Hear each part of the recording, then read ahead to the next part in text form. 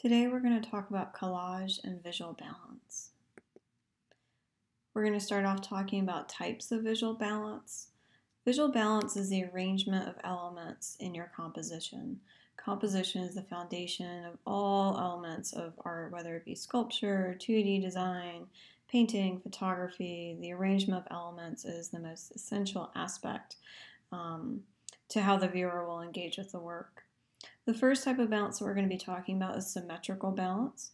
Uh, symmetrical balance is achieved when like shapes are repeated in the same position on either side of a vertical or a horizontal axis. So in this example, you can see I've taken a green line and I've shown you where the axis is. So the first axis is the vertical one. So if you look at the vertical and you imagine it on a piece of paper and fold it in half, either side will line up. If we fold it along the horizontal line, either side will almost exactly line up. It's not quite exact, but it's a good ballpark. This makes for a more static composition, mainly because all the elements have equal visual weight. Here you'll notice an example of vertical symmetry. And in this example, you'll notice if we folded it along the green line, all of those elements would add up. Now, with symmetrical compositions, everything is very equally weighted, um, which visually can be very pleasing, but it can also end up feeling very static. Static means that there's not a not, not a lot of movement, energy, um, or uh, kind of dynamic use of objects within the, the piece. Asymmetrical balance, on the other hand, is achieved when dissimilar objects that are equal in value attract the eye's attention. The effect is a less formal and more uh, and less static than symmetrical balance. Um, asymmetrical balance tends to be a little bit more complicated. In this example, you can see the figure's face is clearly the focal point, um, and then it's counterbalanced with kind of the gray mass next to it. Um, here you can see that there are other things going on, but is asymmetrical in regards to its balance. Here's another example where you have Mount Fuji is our focal point, and it's counterbalanced by the intricate elements within the sky. Um, later on in the class, we'll be talking about positive and negative space, and then also the figure-ground relationship. Asymmetrical means that you've got an area of information that you're going to kind of push off to one side or emphasize in a different way. Radial balance is that all of the elements radiate from a common central point. So here you can see a focal point is established once you kind of lead your eye in where all the lines are connecting.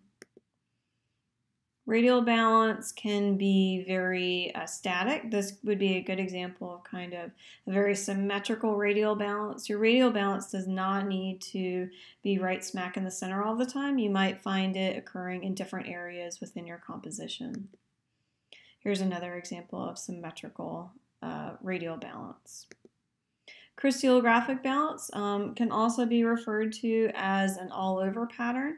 Sometimes students have a difficult time saying crystallographic. Um, I've been saying it for so many years now, I kind of have fun saying it. And what that is is an equal emphasis is established throughout the entire format. So if we look, look at this example, we'll notice that there's no real focal point. Everything feels fairly evenly weighted. So if we look at this example, you'll notice that it's a pattern where everything's being repeated over and over and over again. There's no area that's emphasized over another area. In this example from Hannah Höch, you'll notice the same thing. Your eye might linger a little bit on some of the text, but there's enough text where it feels like there's an all-over pattern being created.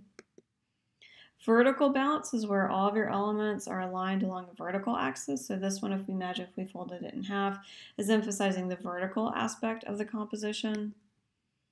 And here, once again, where you have maybe two different elements on either side, the complexity of the pattern on the figure on the left balances the intensity of the red, the red dress on the woman on the right. Horizontal balance is where all elements are aligned with a central horizontal axis. Here, you notice if we fold it in half, it'll emphasize the horizontal aspect of the composition. And keep in mind that horizontal or vertical line does not necessarily need to fall in the exact center of the composition. You can push it up or down or left or right depending on how you want to play with it. There's also diagonal balance, which is going to be established on a diagonal axis. Here you'll notice once again, if we fold it in half, the two signs will align. and here, even though there is uh, a little bit of asymmetry, right, because we have a lot of elements pushed off to the left-hand side, we can still see that really strong diagonal balance, which is actually being defined by the negative space in the composition.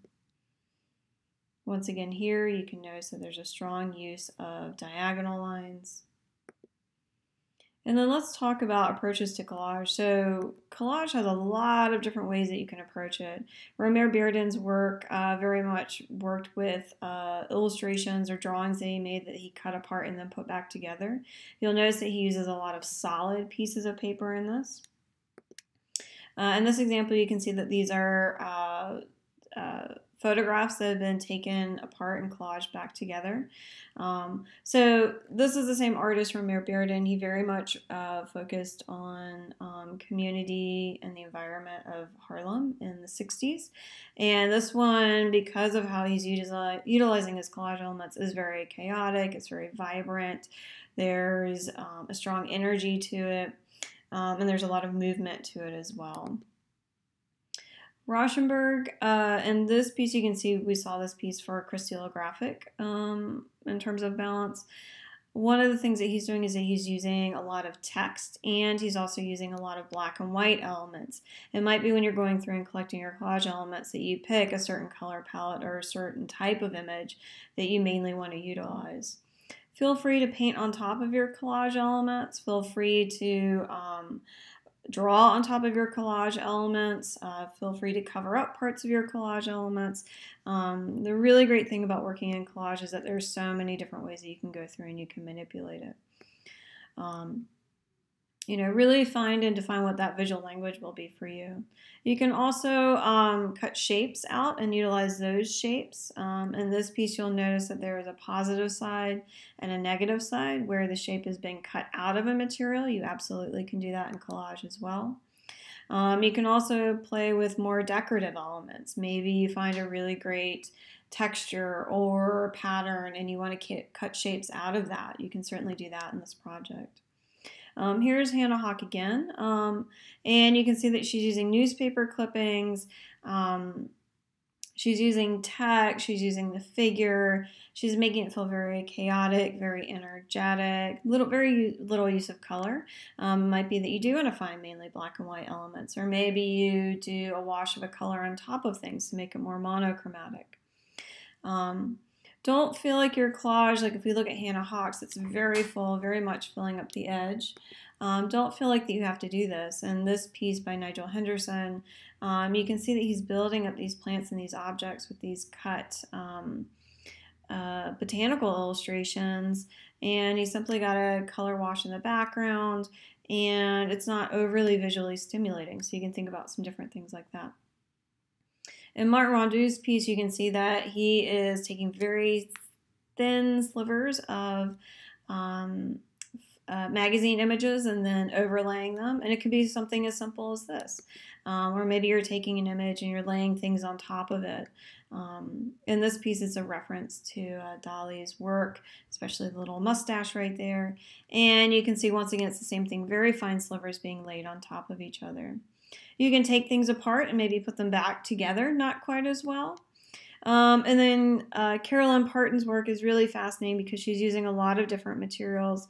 Um, here she's saying reconstituted paint, which is essentially just paint that she found or paint chips. Um, the work that you could do be, could be fairly abstract or non-objective. So here she's just layering materials together.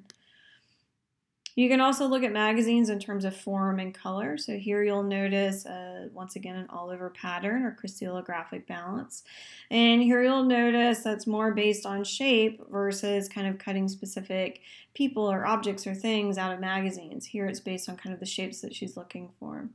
You can layer up as much as you want to. You can have flat color or flat colored pieces of paper. Um, or it can be something that's very monochromatic. Monochromatic means that it's just uh, one color is being used. In this example, all of the paper is all kind of the same yellow that's being used. You can layer things. It can be as chaotic or as organized as you want it to be. Or it can be very pristine, very sharp. Here you can see there's a sense of depth that's being created in the composition.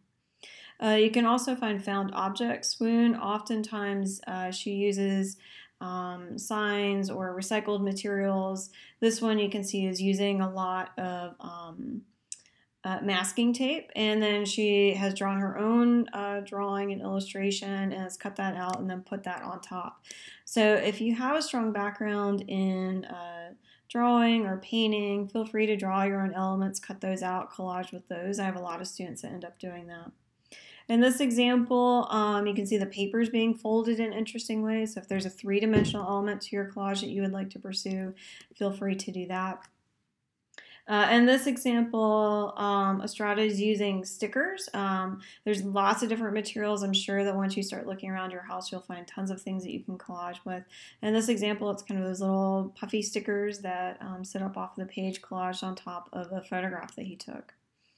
Um, if you find repeats of an image, you can repeat it. Um, Unfortunately, during the school year, we have access to a photocopier, which my students uh, tend to get to play with and use for this assignment. You guys don't, but you could very well take a picture of something in a magazine, and then if you have an inkjet printer at home, you could print off copies of that if you wanted to. Um, you want to gather things that are similar in nature. In this example, you can see that the artist is gathering images of plants that have a visual similarity, and then he collages those together. Um, you'll also notice that there is a very simple background and use of shape. Um, like I said, don't feel like you need to fill the whole frame, well, in this example, um, this artist is, but you can have something that's fairly minimalist. Uh, the success of the collage is really, really up to you.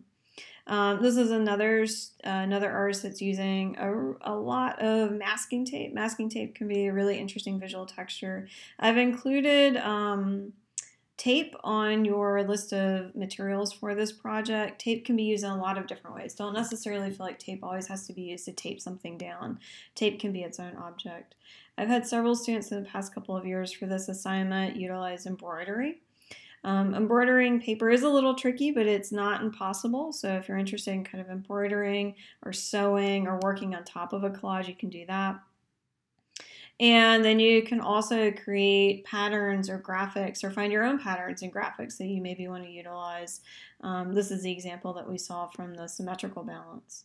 Um, this one you can see there are lots of different types of little objects that are being created. Um, the halo that is being created around the figure's head um, would also be a good example of radial balance. You might have some compositions where you have something that's symmetrical and radial balance.